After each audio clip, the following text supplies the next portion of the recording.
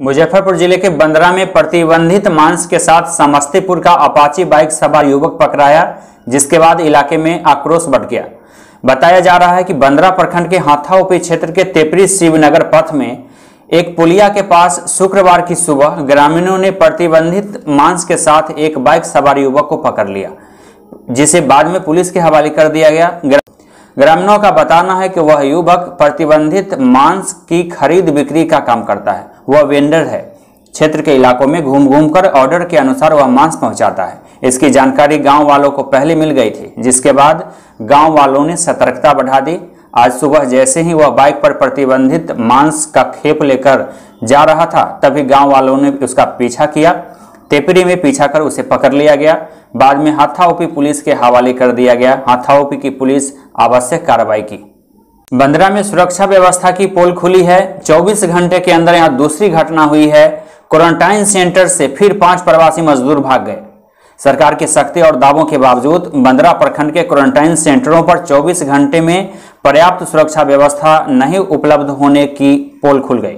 लिहाजा कई तरह की शिकायतें सामने आ रही हैं। बंदरा प्रखंड मुख्यालय के पास एक क्वारंटाइन सेंटर से गुरुवार की देर रात क्वारंटाइन किए गए पाँच प्रवासी मजदूर चार दीवारी फांदकर भाग गए। जिसके बाद संबंधित गाँव में खलबली मच गई। गाँव के लोगों में आक्रोश भड़क गया।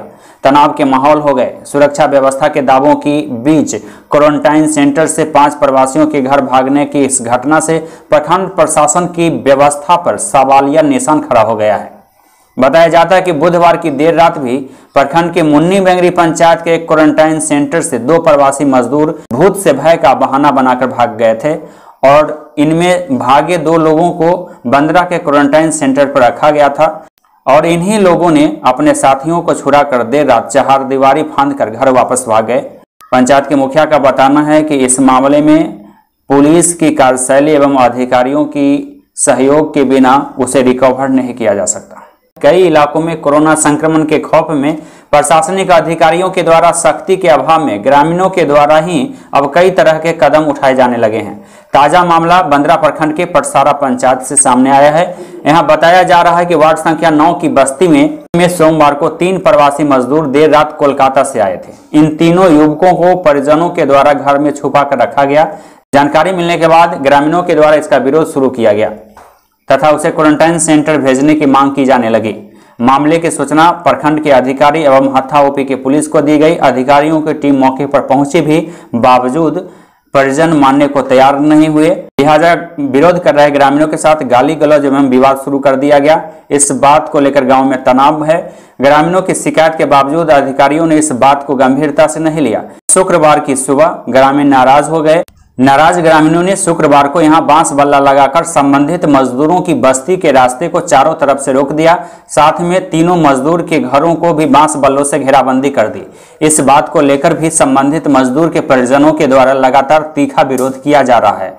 गाँव में तनाव का माहौल व्याप्त है। मामले की सूचना स्थानीय अधिकारियों को भी दी गई है। नंबर दस है परसरा पंचायत है। जी ठीक है। और हमारे गाँव में प्रदेश से लोग आए हुए हैं। हाँ। बगल में बस ये समझिए 200 गज के दूरी पर उनका घर है जिसमें चार बच्चे आए हैं जो कहाँ चुरा के रखे हुए हैं पता नहीं चल रहा है। हम लोग उनके साथ परेशान हैं। रात प्रभारी भी आके वापस गए। वीडियो भी आए थे और चिकित्सा प्रभारी भी आए सब वापस गए ये लोग छुपा दिए हैं।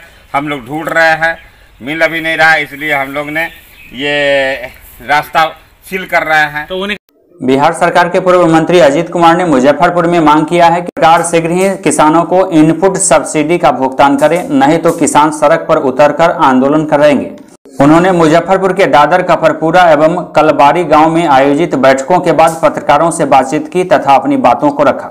आपदा के मार से ज़िले के किसान पूरी तरह बदहाल हो गए। लॉकडाउन में फंसे मजदूर हताश हैं। लगातार सरकार के द्वारा प्राकृतिक आपदा से हुए क्षति का किसानों को इनपुट सब्सिडी देने की बात सरकार कर रही है। लेकिन रिज़ल्ट सिफर है। लगता है कि यदि- समय रहते, किसानों को राहत नहीं पहुँचा तो खरीफ फ़सल भी इस बार खत्म हो जाएगा। हम माननीय मुख्यमंत्री और राज्य सरकार और केंद्र सरकार से जानना चाहते हैं, क्या किसान दफन हो जाएँगे? तब उन्हें राहत मिलेगा, तब उन्हें मुआवजा मिलेगा। मजदूर दाने दाने के लिए बिलक रहे हैं लॉकडाउन में फंसे हैं। कोई देखने वाला नहीं। इसी मामले को लेकर आज हम कलवारी में आए हैं। गरीबों के बीच बैठे हैं, अपने कार्यकर्ताओं के साथ बैठे हैं। आखिरकार लॉकडाउन में इस इलाके के गरीबों का क्या हाल है? लोगों ने बताया है, चर्चा हुआ है कि रोजी रोटी नहीं मिलने से मजदूर परेशान हैं और पूंजी नहीं रहने से किसान बदहाल है। काफ़ी त्रासदी की स्थिति है। हम आज फिर एक बार सरकार से मांग करना चाहते हैं, क्या किसान मजदूर का दफन होना आपको अच्छा लगेगा?